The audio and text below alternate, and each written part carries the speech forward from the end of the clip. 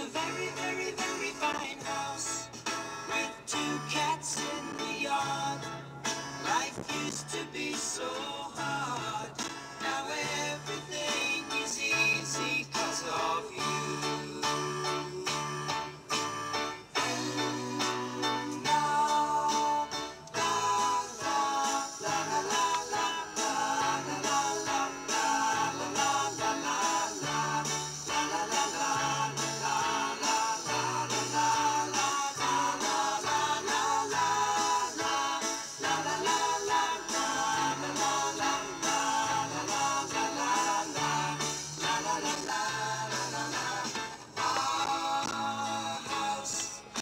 Isn't that